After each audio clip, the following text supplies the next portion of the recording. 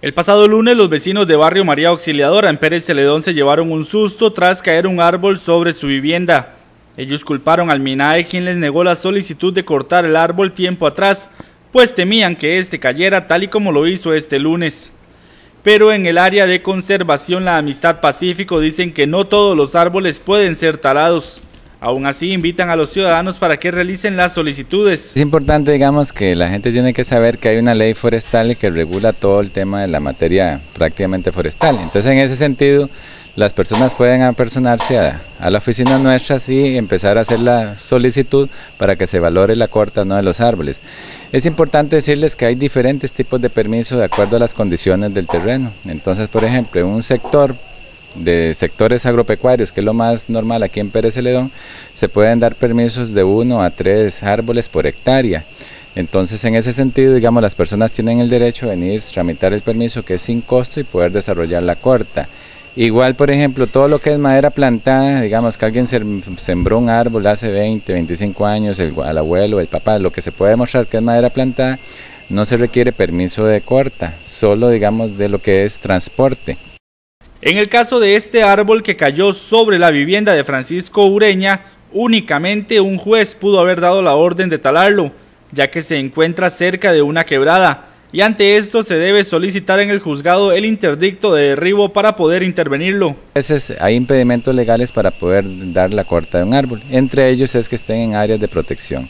Entonces, bajo ese enfoque, Muchas veces, digamos, la gente quiere cortar un árbol, viene a la oficina y se les dicen, señores, no podemos cortar el árbol, darles el permiso, porque la ley prohíbe, digamos, las cortas de árboles en áreas de protección, en terrenos rurales 15 metros, que sean planos, en terrenos urbanos 10 metros y en terrenos quebrados hasta 50 metros.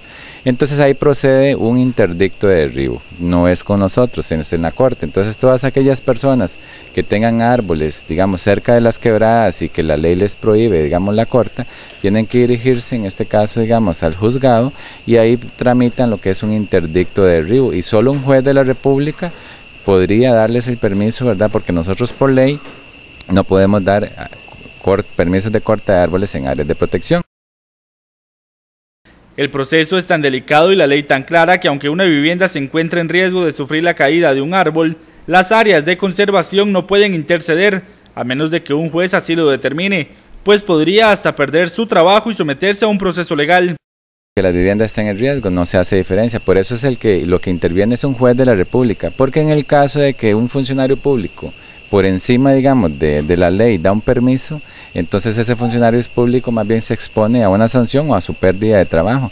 Entonces por eso donde interviene el Poder Judicial, donde valora el don más preciado, en este caso el bien más preciado que es la vida, o la salud pública, entonces está por encima, digamos, de cualquier cosa, pero eso solo lo puede determinar un juez de la República. En los demás casos, este, sí pueden apersonarse aquí a las oficinas y tramitar un, permiso, digamos, de, de, árboles en terrenos de uso agropecuario o cualquier otro tipo, digamos, de, de árboles. Siempre y cuando un árbol haya sido sembrado por una persona en las cercanías de una vivienda puede ser talado. Caso contrario, si se trata de alguna especie nativa de la zona, pues en ese caso lo más recomendable es apersonarse a los tribunales de justicia para interponer la solicitud.